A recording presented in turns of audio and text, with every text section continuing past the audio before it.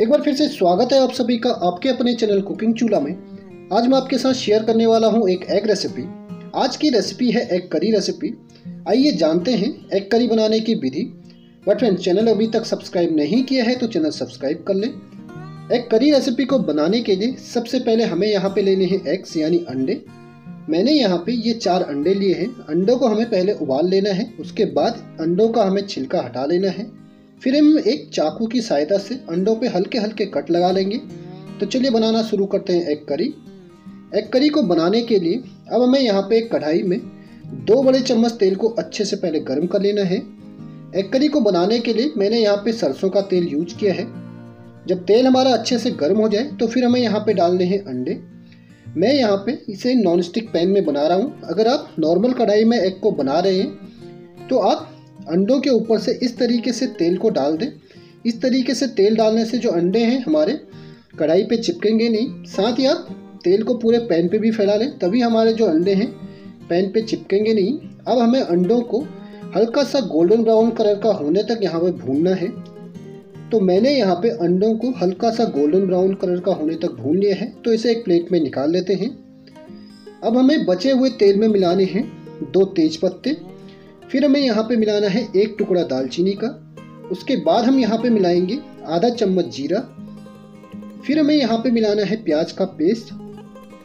प्याज का पेस्ट मिलाते वक्त हमें एक बात का ध्यान ज़रूर देना है। जैसे ही आप प्याज का पेस्ट तेल में मिलाते हैं तो ये छीटा मारता है तो इसे हमें सावधानी पूर्वक मिलाना है। इस प्याज को पेस्ट को बनाने के लिए मैंने यहाँ पे दो मीडियम साइज़ के प्याज लिए थे। दो ली थी हरी मिर्च, पाँच से छः लहसुन की कलियाँ ली थी और एक इंच मैंने यहाँ पे अदरक लिया था। अब हम प्याज के पेस्ट को एक बार अच्छे से पहले मिक्स कर लेंगे और मिक्स करने के बाद अब हम प्याज को छः से सात मिनट के लिए मीडियम फ्लेम पे इसे हम पका लेंगे। प्याज को हमें बीच बीच में चलाते रहना है। प्याज का पेस्ट कटे हुए प्याज की तुलना में थोड़ा सा ज़्यादा टाइम लेता है तो इसे आप लगातार चलाते हुए इसे अच्छे से भून लें। तो प्याज हमारा अच्छे से भुन के तैयार हो चुका है। तो अब हमें यहाँ पे मिलाना है टमाटर। ये दो मीडियम साइज़ के मैंने टमाटर लिए थे और टमाटर को मैंने मिक्सर ग्राइंडर जार में बारीक पीस लिया है। अगर आपके पास मिक्सर ग्राइंडर जार नहीं है तो आप टमाटर और प्याज को सिंपल कद्दूकस करके भी इनकी प्यूरी को तैयार कर सकते हैं। अब हमें यहाँ पे मिलाना है नमक। ये आधा चम्मच मैंने यहाँ पे नमक मिलाया है। आप अपनी सब्ज़ी के हिसाब से यहाँ पे नमक को कम ज़्यादा कर सकते हैं। अब हम प्याज और टमाटर को एक बार अच्छे से पहले मिक्स कर लेंगे और मिक्स करने के बाद अब हम इसे ढकेंगे और ढक के इसे हम तीन से चार मिनट के लिए मीडियम फ्लेम पे इसे अच्छे से हम पका लेंगे। तीन से चार मिनट पकाने के बाद हमें इसका कवर हटा लेना है और कवर हटाने के बाद अब हम इसे एक बार अच्छे से फिर से मिक्स करेंगे। तो ये हमारा प्याज टमाटर अच्छे से पक चुका है। तो अब हमें यहाँ पे मिलाने हैं अपने मसाले। मसालों में सबसे पहले मैंने यहाँ पे मिलाया है आधा चम्मच हल्दी पाउडर, उसके बाद हमें यहाँ पे मिलाना है लाल मिर्च पाउडर। ये एक चम्मच मैंने यहाँ पे लाल मिर्च पाउडर मिलाया है। इसे आप अपने टेस्ट के अकॉर्डिंग थोड़ा कम ज़्यादा कर सकते हैं। फिर हमें यहाँ पे मिलाना है धनिया पाउडर। ये दो चम्मच मैंने यहाँ पे धनिया पाउडर मिलाए हैं। उसके बाद हमें यहाँ पे मिलाना है पानी। ये एक चौथाई कप के आसपास मैंने यहाँ पे पानी मिलाया है। पानी मिलाने के बाद अब हम सारे मसालों को प्याज और टमाटर के साथ अच्छे से मिक्स करेंगे। और मिक्स करने के बाद अब हम इसे कवर करेंगे। और कवर करके इसे हम दो से तीन मिनट के लिए बिल्कुल धीमी आँच पे इसे पका लेंगे। दो से तीन मिनट पकाने के बाद हमें इसका कवर हटा लेना है। और कवर हटाने के बाद अगर आप देखें तो साइड में ये ऑयल छोड़ना शुरू कर चुका है। तो हम इसे एक बार अच्छे से पहले मिक्स कर लेते हैं। तो फ्रेंड्स आप भी इसी तरीके से किसी भी सब्ज़ी के लिए ग्रेवी को तैयार कर सकते हैं। तो अब हमें यहाँ पे मिलाना है पानी।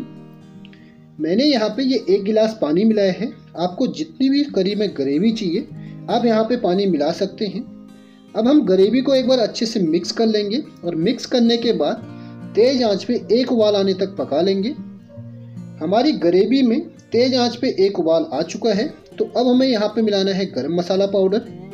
ये आधा चम्मच मैंने यहाँ पे गरम मसाला पाउडर मिलाया है। अब हम गरम मसाला को ग्रेवी के साथ एक बार अच्छे से पहले मिक्स कर लेंगे। और मिक्स करने के बाद अब हमें यहाँ पे मिलाने हैं अंडे। अंडे जिसे कि हमने पहले से उबाल के और फ्राई करके रखे थे। अब हम ग्रेवी के साथ अंडों को एक बार अच्छे से पहले मिक्स कर लेंगे।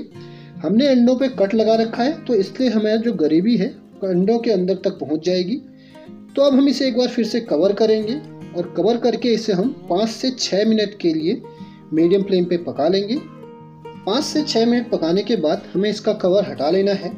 कवर हटाने के बाद अब हम इसे एक बार अच्छे से मिक्स करेंगे।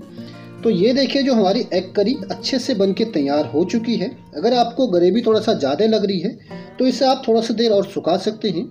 तो फ्रेंड्स ये हमारी डिलीशियस जानदार, शानदार एग करी रेसिपी अच्छे से बन के तैयार हो चुकी है। तो अब हम गैस की फ्लेम को बंद कर देते हैं। तो फ्रेंड्स आप भी आसानी से इसी तरीके से घर पे इस डिलीशियस सी एग करी को बना सकते हैं। आपको मेरा एग करी बनाने का तरीका कैसा लगा, आप मुझे कमेंट के माध्यम से ज़रूर बताएँ। साथ ही फ्रेंड्स रेसिपी अगर अच्छी लगी तो आप मेरे चैनल को लाइक सब्सक्राइब एंड शेयर करना बिल्कुल ना भूलें। तो मिलते हैं एक और नई रेसिपी के साथ। Thank you for your watching